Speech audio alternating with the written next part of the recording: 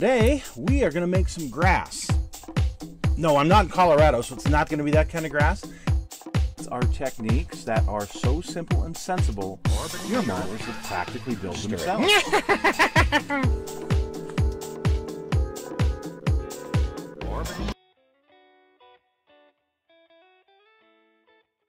Hello, folks. It's Mad Dog Merv. Welcome to today's show. And today we are going to look at how I paint the decks of my early war, early World War II, U.S. Uh, warships. Mostly battleships and aircraft carriers. We'll do destroyers and and cruisers and some of the others another time. But today we're going to look at battleships and um, and aircraft carriers. Um, now, with that in mind, there's this little phrase that I really want to emphasize today. Let's check it out. This comes from a Facebook modeling page I follow. Got a question. Why sometimes when people post their work do some just bash them? Everyone is at a different skill level and we are always learning new tips and tricks. We all have had a cool idea in our head only to have it not exactly turn out the best when built. Constructive criticism is good and advice, but to bash someone can make them give up the hobby. Okay, so build for you. Okay, build for the excitement that you get, the experience, and, and modeling, as you know, it isn't just about building what you've got in front of you and completing it. Sure, that's a big part of it, but the the hunt for the parts, for the kit, you know, that's that's all a part of the experience. Uh, what a great experience modeling can be. Unfortunately, there's a lot of folks out there who want to be experts or who want to throw in their opinion on the way something should be, and will tell you that well, you're wrong because of you know blah blah blah. You know what? Build for you and build for you only. Now, for me, I like to build things that are fairly accurate because I'm trying to portray a certain piece of history. And what I would build 20 years ago and what I would build now is going to be different because I've done more research or I've had more information come to me or I've learned some new techniques or there's been a new, uh, more accurate kit, whatever you want to call it. But for me, accuracy is, is, is pretty important. And accuracy, as we're going to find out, accuracy can be subjective to, to some people. So we're going to look at the decks of uh, U.S. warships right around the beginning of, the, of World War II and how there were some changes and how I model those. We are going to look at some new information I found out about decks of U.S. warships early on in the war because that's pretty much what I model is the early part of World So we're going to go back almost 25 years here. This USS California is a resin kit in 1 350th scale. And I did a little bit of research, at least what research was available at the time, so I could build this in December 7th, 1941 outfit. And I thought I had done pretty well. It's a dark gray, it's got the the light upper top part so this is measure one scheme and the wood decks. This was a part of a display that I did over the Winter Olympics in uh, 2002. And these rest of these were in 1 426 scale. They were scratch built and modified Arizona kits. And they're all gray. They're all uh, gunship gray. What is it? 34118 um, gunship gray with a uh, lighter upper top and the wood decks the same color and I don't remember what color wood I used. So first we're going to talk about deck color. My friend Chris Allred who built this Arizona and this Vestal that uh, we did a piece on just a couple of months ago we have some friends who are Pearl Harbor survivors, and they were telling us that in pre-war years they would holystone these decks. They would keep them beautiful and shiny and, and a very light, light teak color. So, okay, that's how we started to paint our ship models when we were first doing our Pearl Harbor ships. And you can see in this picture of the USS Texas in like 1940 or 41, that's a very light colored deck. I love these colored pictures. They're hard to find though. But that's a pretty good indication of how I should probably be painting the deck. Now here we have the USS North Carolina taken in 1941, measure one scheme, and look at the color of the teak deck on this. It's obviously not been holystoned for a lot of years. It's just a nice new beautiful teak deck. Hmm, that's uh, very interesting. And here again is the Texas. This is the bow area. This was taken in 1941 as well. Kind of gives you a good uh, look at it when it's wet, the, the teak color when it's wet. So I'm really starting to rethink the way I do my decks. I don't want to do them quite so light. I really want this more of this this teak color that I'm seeing in these last few photographs. So here is my USS Oklahoma, and I uh, did a review on this not too long ago. I painted the deck in a radome radome tan, and we'll look at that here in just a moment.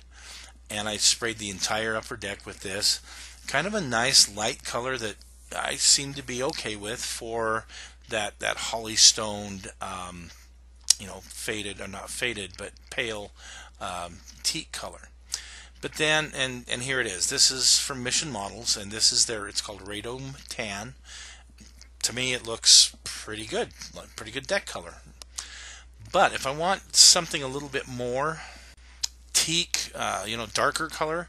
Well, there's this old Testor Model Master wood, and you can see the color there.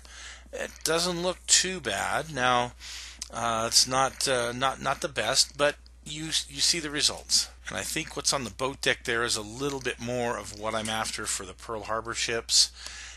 Because when I look at the ones I've already done, uh, been working on, so the Arizona, the Nevada, and the uh, the Oklahoma here, um, I'm really thinking a darker color to go with the darker color color of the hull looks a whole lot better than that that too light of a color. Now, what if I'm doing an aircraft carrier? So here's the Enterprise pre-war, and you can see how beautiful that that wooden deck is on it.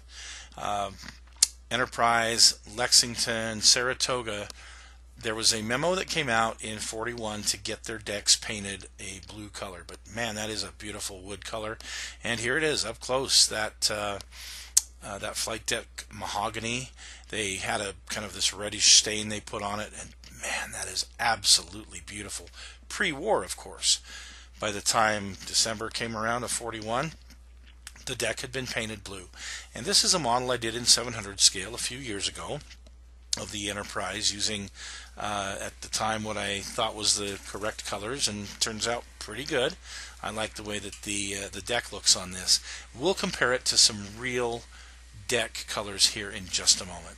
So first up, we have a battleship with that painted uh, blue deck. And here we have, I believe, this is the Texas in 44 with their painted blue deck.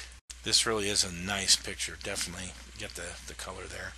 And then the, uh, I believe this is the Enterprise with some damage to her deck after it had been painted with this uh, this weather deck blue. So it kind of gives you some idea of what the reality looks like. So nowadays, here's the color that I use for my decks. It's uh, Life Color UA number 624, and it's their 20B, which is uh, deck blue and you can see the results here on my USS Nevada that I've just sprayed this straight on and I think it's going to be just fine.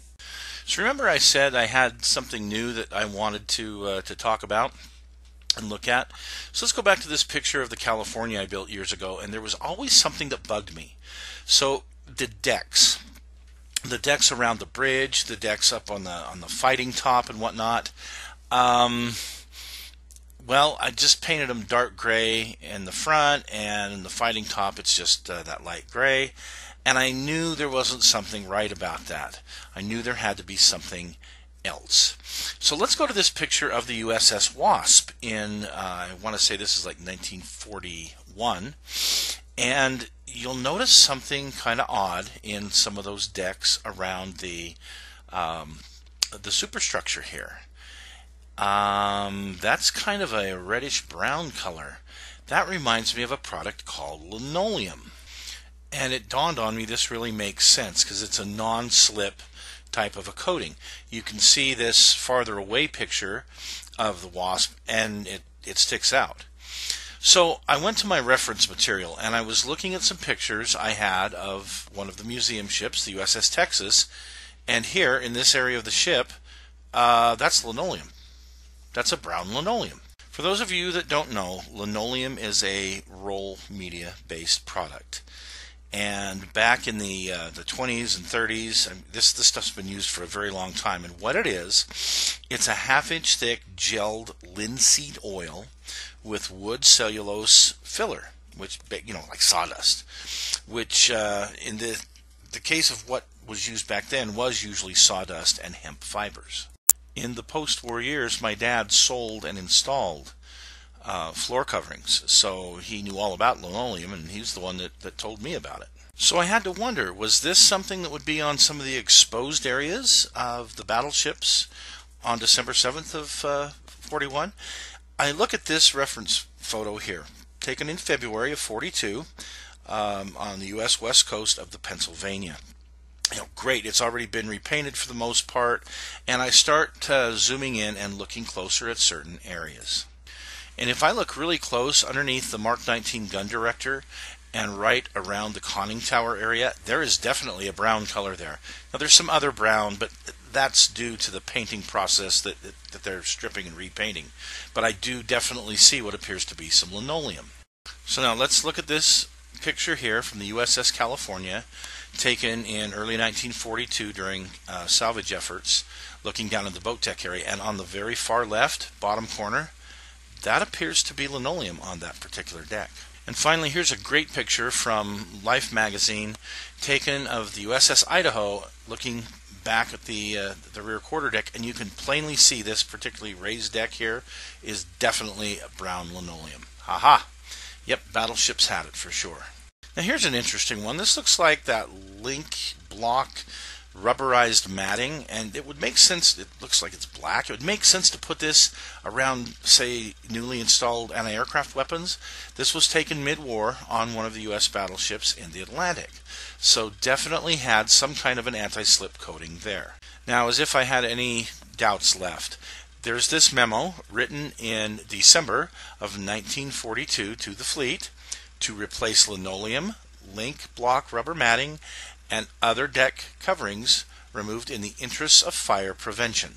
Now, the reason for this was the recent battles off of Guadalcanal, where quite a few of our ships were lost, and one of the things that was noted is that the linoleum would catch fire and it would burn and create these incredible fires.